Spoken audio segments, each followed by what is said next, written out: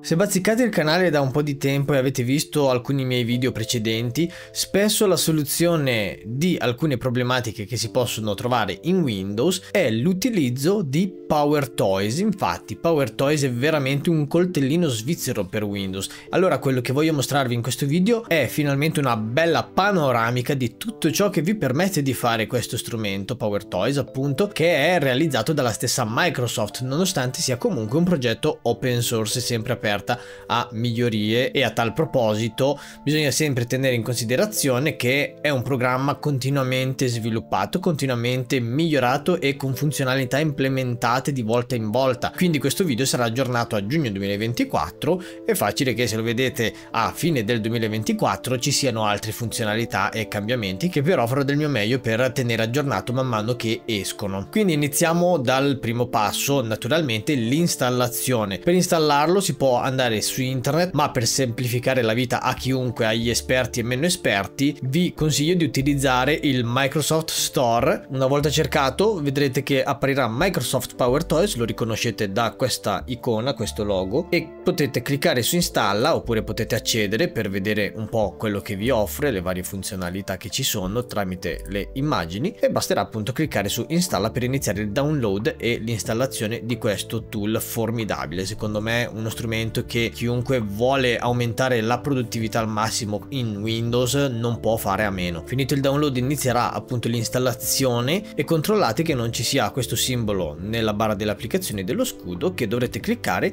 per consentire l'installazione dell'applicazione. Quindi aprite questa finestrella, cliccate su sì, in modo tale che proceda con l'installazione senza problemi. Una volta finita l'installazione potete chiudere il Microsoft Store e vi comparirà la finestra di Power Toys di benvenuto benvenuto. In questa finestra potrete avere una panoramica di ogni funzionalità, di ogni strumento che c'è all'interno e per vedere come funziona ogni strumento basterà cliccare appunto a sinistra sui nomi dei rispettivi strumenti e non solo ci sarà una descrizione con le scorciatoie ma ci sarà anche un'anteprima di come funziona realmente. Ma non mi soffermo su questa pagina di benvenuto ma vi mostro nello specifico ogni strumento e le funzionalità che offre ognuna di queste cose. Ora vi ritroverete in basso a destra l'icona di Power Toys e insieme a Power Toys ci sarà anche questa tazza di caffè. Infatti questo è il Power Toys Awake si chiama che è una funzione che tra poco andremo a vedere, per ora lasciamola lì. Apriamo Power Toys, facciamo un doppio clic e iniziamo a vedere la dashboard per vedere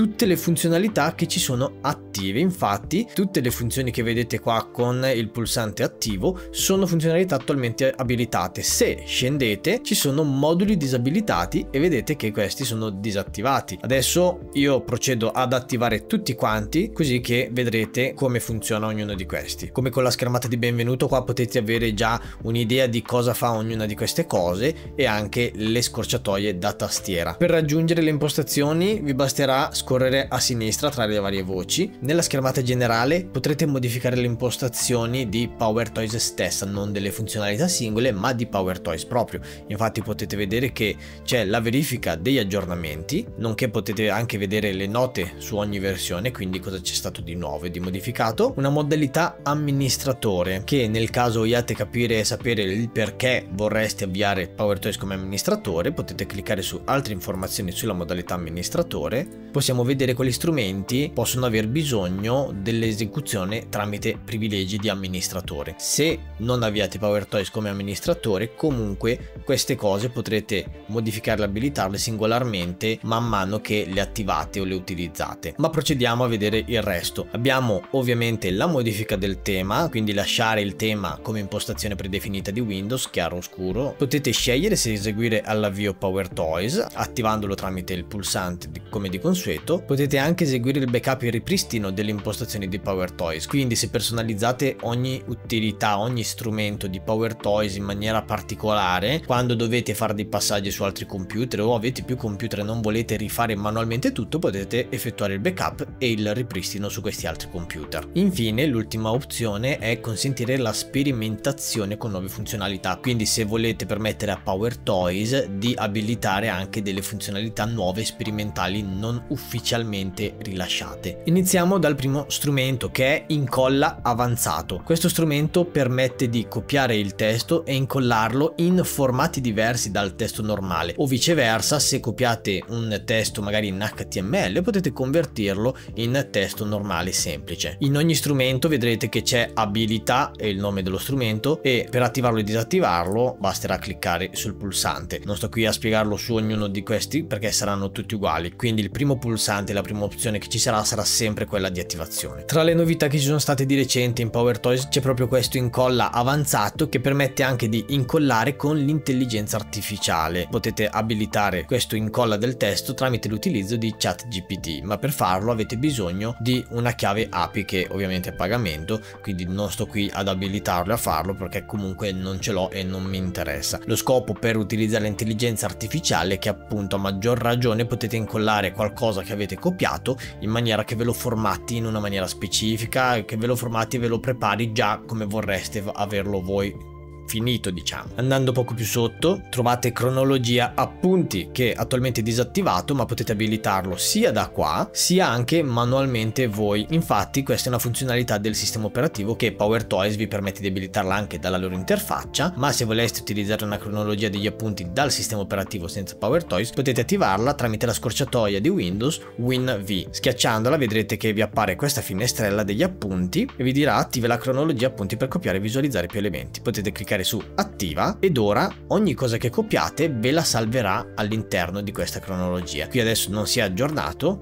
ma se andiamo qua e torniamo vedrete che cronologia appunti adesso risulta attiva. Poco più sotto troviamo le scorciatoie da tastiera da utilizzare che possono essere personalizzate cliccando sulla matita, ma se non volete personalizzare per ogni singola funzione potete aprire il pannello principale con tutte le opzioni tramite la scorciatoia Windows, Shift e V. Vi apparirà questa schermata dove potrete incollare come testo normale, come markdown o come JSON. Infine, cliccando su cronologia appunti ci sarà anche la cronologia delle cose che avete copiato. Ad esempio, se torniamo nella pagina di PowerToys dei privilegi amministrativi, io posso fare un copia di questo, posso fare un altro copia di questo, un altro copia di questo e ora tramite la mia scorciatoia nella cronologia appunti vedrete che ora ho queste versioni incollate. Se apro il blocco note e provo a incollarlo tramite questo strumento, se incollo come testo normale, l'ultima cosa che ho copiato è questa qua. Se lo incollo ad esempio come JSON, vedrete che mi inserisce tutto tramite una formattazione JSON. Appunto se aveste l'intelligenza artificiale abilitata, potrete dirgli in che altri modi convertirlo, così che effettivamente lo incollate senza problemi nel formato che volete. Andiamo avanti al secondo che è Always on top. Per abilitare questo la scorciatoia automatica è Win Control T. Questa è una funzionalità che uso spessissimo perché ci permette di aprire ancora il blocco note ad esempio. Vogliamo tenerlo qua ma se dobbiamo prendere qualcosa e incollarlo qui ogni volta ci andrà dietro al programma selezionato. Se invece utilizziamo la scorciatoia Always on top quindi Control Win T ecco che apparirà questo bordo per dirci che attualmente questo è fissato sopra tutte le altre finestre. Infatti adesso se seleziono questa finestra qua di Power Toys comunque non mi nasconderà più questa stessa cosa se apro altri programmi rimarrà sempre in primo piano questo programma qui. Per disattivarlo stessa scorciatoia Ctrl Win T e adesso tornerà tutto uguale a prima. Sotto ci sarà una spunta di non attivare quando modalità gioco è attivo quindi per sbaglio se utilizzate la tastiera e fate questa combinazione non rischiate che vi compaia qualche finestra in sovrimpressione mentre giocate. Poco più sotto potete modificare l'aspetto e il comportamento quindi ancora con il nostro blocco note se lo mettiamo in primo piano possiamo modificare anche qua la modalità del colore. Se volete qualcosa di personalizzato scegliete colore personalizzato e lo modificate come lo volete voi. E potete scegliere l'opacità potete renderlo anche semi trasparente se volete così come scegliere lo spessore se vi sembra un po' troppo grosso che a me personalmente non mi piace tantissimo così grosso. Preferisco qualcosa di un pochettino più sottile posso riconoscerlo comunque tramite il bordo accentuato con il colore. Infine c'è abilità angoli arrotondati che come vedete segue gli angoli arrotondati, se lo disattivate diventa un quadrato a tutti gli effetti senza l'arrotondamento degli angoli. Oltre a questo quando viene attivato e disattivato c'è un suono che viene emesso, potete scegliere anche questo questo se attivarlo o disattivarlo. Quindi adesso posso attivare e disattivare e non ci sarà nessun suono. Ultima casella è l'esclusione di applicazioni dall'aggiunta in alto. Se non volete rischiare per qualche ragione che delle applicazioni non compaiano davanti ad altre,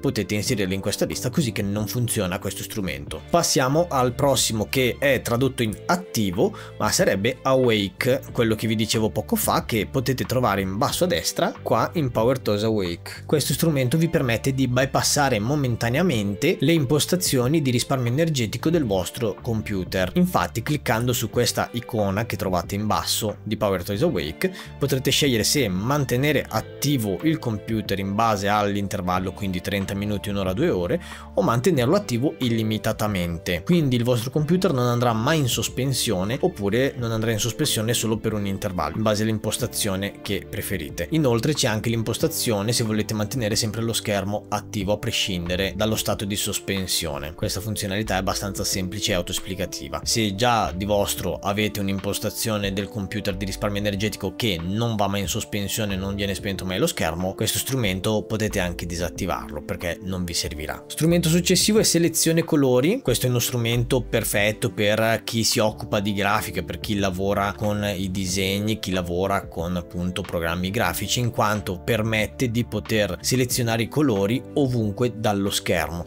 per abilitarlo bisogna utilizzare la scorciatoia Windows Shift C e vedrete che il mouse ora avrà un color picker che ovunque andrò mi prenderà esattamente il colore che c'è a schermo. Una volta scelto il colore, ad esempio voglio vedere che colore è questo qua utilizzato in Power Toys, clicco e mi apparirà una finestrella con tutti i codici sia esadecimali che RGB che HSL. Non solo mi permette di vedere i codici, ma mi permette anche di vedere delle varianti di questo colore infatti vedete che qui a sinistra ci sono anche colori in base appunto a quello che ho selezionato quindi potete crearvi anche un po' una palette grafica diciamo. Questo comportamento lo potete scegliere qui sotto in comportamento di attivazione seleziona un colore e aprire l'editor oppure potete fare seleziona solo un colore quindi vi copia negli appunti quel colore oppure potete aprire solo l'editor. Più sotto ancora potete scegliere il colore predefinito che copierà negli appunti. Vedete che ci sono varie impostazioni non soltanto quelle che si vedevano lì nella schermata perché ancora più sotto come vedete qui potete abilitare quelli che vi servono. Quindi se vi interessa l'HSV o il CMYK che è più ideale per la stampa potete abilitarlo. Così che adesso quando selezionate un colore tra le opzioni ci sarà anche il CMYK e questa era la selezione colori. Andiamo al prossimo strumento che si chiama comando non trovato. E questo è un modulo specifico per PowerShell. Quindi questo serve più per i programmatori per chi utilizza PowerShell. Come vedete è un modulo da installare e che necessita prima di tutto PowerShell 7.4 o successivo e anche il modulo Winget. La comodità di questo strumento è che quando voi utilizzate Winget in PowerShell vi suggerirà dei pacchetti che se vi dà un errore perché il vostro winget è errato vi dirà guarda che forse volevi questo pacchetto oppure c'è questo pacchetto che potrebbe essere quello più adatto a quello che cercavi. Andiamo al prossimo chiamato ritaglia e blocca che è molto particolare. Infatti se facciamo win control shift T vedrete che abbiamo questa finestra selezionata e possiamo ritagliare questo pezzo così da avere un ritaglio di quello che avevamo nell'applicazione. Se utilizziamo invece la seconda scorciatoia che è Windows Ctrl Shift R è una funzione sperimentale e questo permetterà di non solo crearvi l'anteprima ma proprio di mettervi il programma nella schermata qua infatti vedete che funziona ma è ritagliata questa volta ma continua a funzionare così è una funzione un, un po' particolare onestamente non so bene a cosa potrebbe servire creare delle finestre con dei pezzi di un programma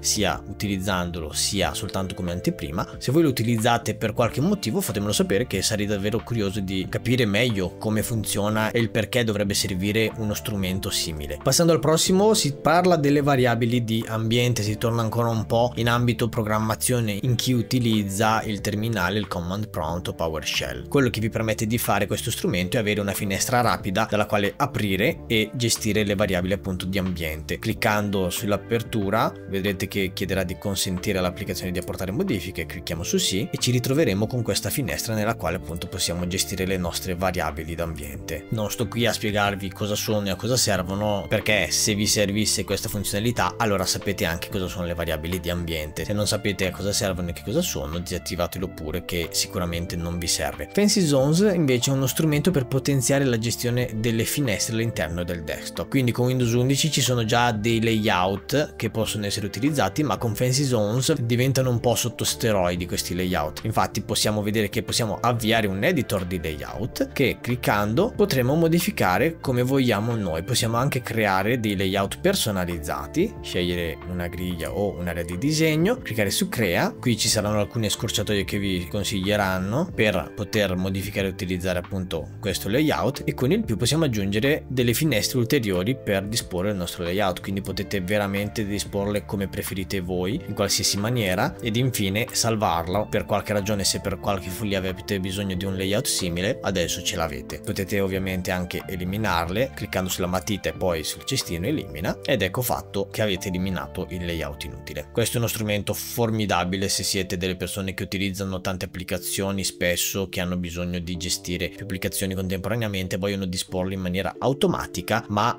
anche efficace. Nel caso avete più schermi vi chiede dove avviare l'editor del layout, quindi se farlo nella posizione del puntatore del mouse oppure se farlo dove c'è qualcosa di attivo. Questo potete attivarlo con Windows Shift e la O accentata. Poco più sotto abbiamo le zone e potete impostare il loro comportamento. Principalmente sono tutte cose che servono per modificare l'editing delle zone, non sto qui a spiegarvele perché comunque sono abbastanza autoesplicative breve potete modificare l'aspetto di queste zone che state modificando e poco più sotto potete gestire anche il comportamento delle finestre quando utilizzate appunto fancy zones quando utilizzate questa metodologia di layout. Anche qua sono tante impostazioni tante opzioni che non sto qui a spiegarvi una ad una sono anche queste molto autoesplicative non serve che sto qui a ripetervele. E se andiamo in fondo anche qua troviamo che possiamo escludere le applicazioni da fancy zone. La prossima impostazione l'ho già affrontata in un altro video che è comportamento componenti aggiuntivi di Explora File. Infatti questa sezione l'ho mostrata spiegando come poter avere le anteprime dei file all'interno di Explora File ed è proprio quello che fa questo strumento o questa implementazione perché alla fine non è uno strumento che si va ad abilitare o disabilitare, semplicemente potete scegliere quali anteprime visualizzare o meno in Explora File. Ad esempio qua vedete che ci sono l'SVG, TXT, Markdown, qua abbiamo un PDF che possiamo abilitare, abbiamo un codice geometrico che alla fine nel video originale non sapevo cosa fosse, poi con la vita si imparano sempre cose nuove, infatti ho scoperto che vengono utilizzati spesso e principalmente per effettuare le stampe con le stampanti 3D, nel caso qualcuno di voi se lo stesse chiedendo come io me lo sono chiesto quando ho realizzato il video originale. Quindi ci sono le due sezioni, la prima è per vedere appunto le anteprime nel riquadro di anteprima che si apre tramite questo pulsante dettagli, questo è il riquadro di anteprima. Se andiamo invece più sotto vediamo invece proprio l'anteprima dell'icona, cioè se vogliamo che il file abbia come icona l'anteprima. E anche qui vedete che c'è PDF disattivato, si può abilitare. Se volete volete maggiori informazioni poi per le icone e per le anteprime dei file vi consiglio di andare a vedere il video a riguardo dove spiego effettivamente come poter avere al meglio qualsiasi file con la propria anteprima anche video immagini disegni qualsiasi cosa. Scendiamo più sotto e andiamo al prossimo blocco file. Spesso non si riesce a cancellare un file o a sbloccare una chiavetta per qualsiasi ragione. Allora questo strumento è perfetto per capire la ragione perché infatti ci permette di vedere tramite questo blocco file se prendiamo un file file a caso proprio, andiamo in programmi per dire, clicchiamo con il destro su un file, trovate tra le voci Unlock with File Locksmith che cliccando vi aprirà questa finestrella chiamata blocco file appunto purtroppo con le traduzioni come avete visto PowerToys è un po' incerta ancora. E nel caso non riuscite a cancellare un file qui verranno mostrati i programmi che lo tengono occupato il file. E se non vedete niente ma non riuscite comunque a cancellare il file vi basterà cliccare in alto qui a destra dove c'è questo scudo che serve per riavviare come amministratore come potete leggere. Qui potete consentire all'app di apportare modifiche cliccate su sì sì e la nuova finestra che apparirà vi mostrerà effettivamente dei processi che ci sono e che tengono occupato il file o il programma che non riuscite a cancellare. Adesso io ne ho preso uno a caso, non mi compare niente, però se vi appare qualche processo in corso potrete anche cliccare per terminare quel processo e sbloccare il file così da permettervi di cancellarlo. Qui sotto integrazione shell vi dice soltanto dove volete mostrare questo sblocco del file, menu di scelta rapida predefinito ed esteso oppure solo quello esteso che sarebbe questo è il predefinito mentre questo è esteso, quello vecchio viene chiamato menu di scelta rapida esteso. La voce successiva è l'editor dei file dei host, anche questo ho realizzato un video al riguardo e praticamente permette di modificare i file host senza andare a cercarlo nei meandri di Windows. Quindi vi basterà cliccare su avvia l'editor dei file host, dovrete cliccare su sì per acconsentire sempre alla modifica e ci sarà un avviso, attenzione la modifica dei file host influisce sul modo in cui il computer risolve il nome dei domini. Cliccate su accetta e qui inserite tutte le vostre informazioni che volete per modificare il file host. Questa è un'altra cosa che se non sapete cos'è il file host, uno potete andare a vedere il video che ho fatto a riguardo, due è meglio che non lo toccate se appunto non vi serve e non sapete cosa state facendo. Qui sotto potete scegliere se mostrare l'avviso che abbiamo visto poco fa e se eseguirlo come amministratore e altre impostazioni come la codifica e considerare indirizzi in loopback come duplicati. Anche qua non sto a spiegarvi tutti i dettagli tecnici che se no non finiamo più, sta diventando già troppo lungo questo video. Passiamo al prossimo che è il ridimensionamento immagini. Questo strumento come si può intuire dal nome serve per ridimensionare le immagini. Sotto potete scegliere delle impostazioni predefinite che volete utilizzare, ancora più in basso la codifica quindi se farlo in JPEG, PNG, BMP insomma vari formati, il livello di qualità del JPEG nel caso lo fate in JPEG, l'interlacciamento PNG in caso del PNG, così come la compressione TIFF nel caso volete fare la conversione TIFF. Potete scegliere il formato del nome del file, così anche come il timestamp. Per utilizzarlo è semplicissimo, basterà andare nella nostra immagine, cliccare con il destro e troverete ridimensiona con ridimensionamento immagini. Vi aprirà la finestra, qui scegliete uno dei preset che volete e che avete configurato in PowerToys, altrimenti potete fare anche personalizzato con le varie impostazioni che ci sono sia qua sotto sia anche qui delle dimensioni e una volta fatto basta cliccare ridimensiona ed è finito. Passando a gestione tastiera questo vi permette di fare un mapping appunto della tastiera cliccando in modifica il mapping di un tasto. Facendo questo potete aggiungere una nuova mappatura, selezionate il tasto che volete, ad esempio A e potete fare in modo che vi dia qualcos'altro. Quello che io personalmente utilizzo è il mapping di un tasto di scelta rapida, quindi aggiungo una nuova mappatura del tasto facendo tasto di scelta rapida ad esempio faccio questa combinazione e poi faccio invia test in modo tale che facendo una combinazione mi mette in automatico hello ad esempio così facendo ok vedete che qui adesso mi è comparso andando nel blocco notte con questa scorciatoia mi scrive hello in automatico. Per eliminarlo basta aprire nuovamente questa finestra e cliccare sul cestino. Andando in utilità mouse potrete avere varie funzioni appunto con il cursore. Ad esempio premendo due volte CTRL velocemente vi evidenzierà il vostro cursore. Potete modificare anche come attivarlo cliccando sul metodo di attivazione, quindi c'è premere due volte CTRL sinistra o destra oppure scuotere il mouse, un po' come con il Mac che scuotendo si ingrandisce questo ve lo evidenzia, oppure dei tasti di scelta rapida. Anche qui se è attiva la modalità gioco non deve essere attivato e potete modificare anche l'aspetto e il comportamento, quindi potete regolare l'opacità, vedete che è di meno oppure è di più, diventa praticamente nero, così come anche il colore di sfondo, il colore in evidenza, il raggio, quindi se volete che sia più grande questo cerchiolino potete modificarlo così. Stessa cosa zoom iniziale e durata di animazione. Anche qui potete escludere le applicazioni. E poi c'è un'altra funzione per il mouse che è l'evidenziatore. Premendo Windows Shift H sembra che non succeda niente ma vedrete che quando clicco adesso mi evidenzia il mio click. Anche qui naturalmente potete modificare il comportamento ad esempio volete modificarlo in rosso volete farlo diventare 200 boom ecco qua il vostro cerchiolone ritardo di solvenza e durata di dissolvenza. E abbiamo il passaggio del mouse che serve per muovere più rapidamente il mouse. E premendo Win Shift D vi apparirà questa finestrella in modo tale da poter interagire con lo schermo in maniera più veloce in una zona più ristretta senza dover passare da un lato all'altro del computer. Provandola non funziona correttamente, penso che sia per il livello di scalatura che ho in Windows, probabilmente c'è qualche bug al riguardo, ma se lo provate voi ad esempio se cliccate qua sulla X della finestra non ha funzionato ma me l'ha evidenziata però ve la dovrebbe chiudere. L'ultima opzione sempre per il mouse è il mirino del puntatore che premendo Win Alt e P avrete un mirino per sparare a Windows. Anche questo non so bene a cosa vi possa servire, però fatemelo sapere nei commenti, sono curioso di sapere perché dovrebbe servirvi questo strumento. Passiamo al mouse senza bordi che è una funzionalità molto comoda e utile se utilizzate più computer insieme. Infatti, come vedete dall'immagine, con questa funzione potrete passare da un computer all'altro spostandovi sui bordi dello schermo. Indubbiamente comodo appunto se utilizzate più computer contemporaneamente, se avete magari un portatile accanto al vostro desktop e volete passare da uno all'altro senza troppa fatica. Andando più sotto come vedete ci sono varie impostazioni con ognuna di queste la spiegazione specifica sono tantissime non sto qui appunto nel dettaglio perché è comunque una funzionalità magari non per tutti. Anteprima rapida è un bel richiamo a macOS infatti se andiamo ancora ad esempio nelle nostre immagini premendo CTRL spazio vi apparirà l'anteprima del file in maniera più grande se è un pdf ad esempio riuscite a vederlo meglio adesso vabbè questo è un'icona piccolina nulla di particolare però questo serve per aprire il file senza aprire proprio tutto il programma cioè averne appunto un'anteprima rapida. Potete modificare il tasto di scelta rapida qui altre impostazioni sul comportamento sui privilegi elevati piuttosto che chiudere automaticamente la finestra quando cliccate fuori da questa finestra ed in fondo vi chiede come visualizzare l'anteprima di file di codici sorgenti.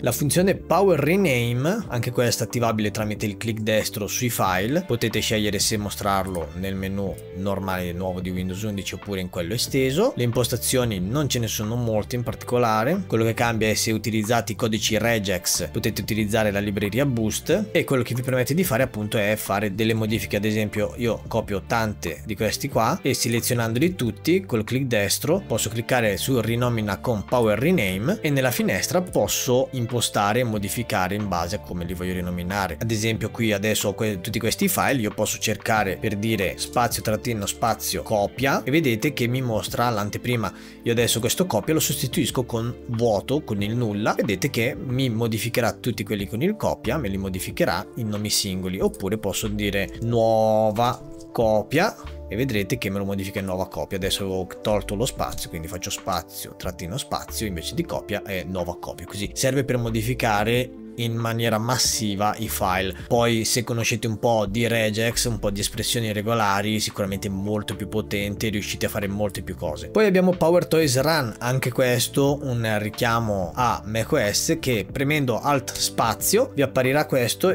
dal quale potrete un po' fare dei calcoli oppure aprire dei programmi. Ad esempio se cerco Edge, qua mi dà l'applicazione Edge oppure cerco google.com, come vedete mi apre il browser google.com. È un modo per avviare quello che volete, cercare o fare calcoli, insomma un posto dove avviare qualsiasi cosa avete bisogno e in automatico vi darà consigli pertinenti a quello che potrebbe esservi utile fare. Qua ci sono molte impostazioni riguardo che non ritengo servano veramente da toccare per utilizzare questa funzionalità, così vi consiglio di non toccarli, ma se volete darci un'occhiata, qui in fondo sono le parti che potrebbero interessarvi di più, che volete attivare dei plugin piuttosto che volete personalizzare appunto la posizione o l'aspetto. La funzionalità Quick Accent l'ho affrontata anche questa in un altro video sugli accenti che se vi siete interessati a capire meglio come funziona vi rimando a quel video ma quello che vi permette di fare è appunto tramite un tasto di attivazione che è sinistra destra spazio io lo uso come sinistra e destra perché quando digito lo spazio ci scappa magari in più e quindi mi appare la finestrella quello che vi permette di fare semplicemente è premendo un tasto che può essere accentato lo premete utilizzate una freccia ed ecco che vi appare in alto tutta la barra di come volete accentare questa lettera. Ci sono tanti caratteri che magari non vi servono, allora quello che dovete fare semplicemente è andare nel scegli un set di caratteri,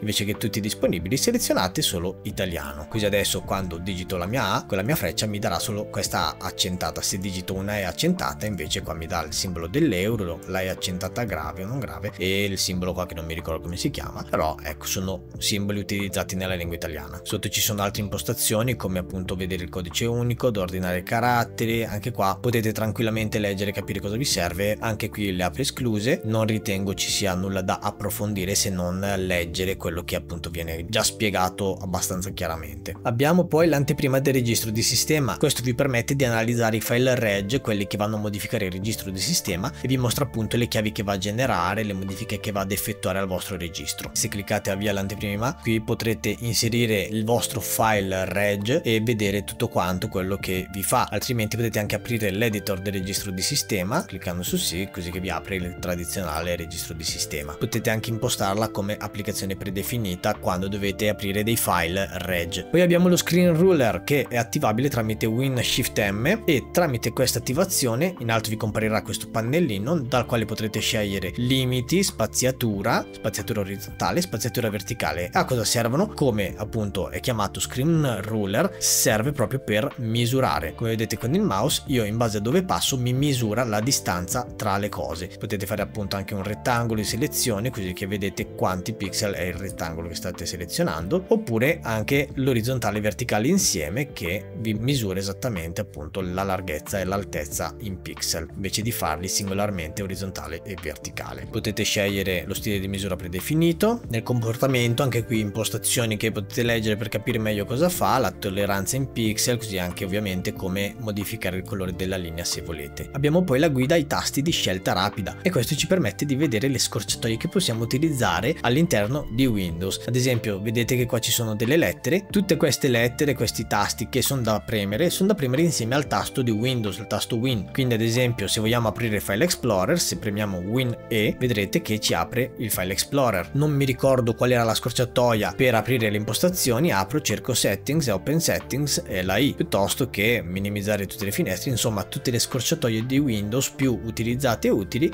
potete trovarle grazie a questa schermata qua. Le modifiche di questo strumento sono minime, infatti c'è il tema e l'opacità di sfondo, così come l'esclusione delle app. Andando verso la fine abbiamo Text Extractor che permette di prendere una schermata, quindi con Win Shift T possiamo ritagliare questo pezzo ad esempio e facendo questo andiamo e incolliamo in automatico rileva cosa c'era scritto nello screen che abbiamo preso. Quindi può essere un'immagine può essere una foto qualsiasi cosa riuscirà a rilevarlo e a tradurcelo in testo che poi può essere incollato. Oltre a modificare la scorciatoia qua potrete scegliere la lingua preferita. E arrivando finalmente all'ultima funzione c'è la disattivazione conferenza video che in realtà come leggete sta passando alla modalità legacy solo manutenzione ma come come potete leggere serviva per disattivare video e audio in un posto unico, cosa che adesso comunque potete fare tramite Windows. E adesso giunti al termine, l'ultima cosa che volevo mostrarvi di PowerToys è che cliccando sull'icona di PowerToys vi aprirà un accesso rapido delle cose che potreste aver bisogno, quindi tutte le finestre che si aprivano, ad esempio Fancy Zones, le variabili, il PowerToys Run, l'editor host, tutte queste funzioni potrete accedere da qua senza per forza le scorciatoie e andando in altro potrete scegliere da qua qua direttamente cosa attivare o disattivare tra le varie impostazioni. Quindi non dovete per forza aprire questa finestra di Power Toys e andare nella dashboard per attivare o disattivare le funzioni,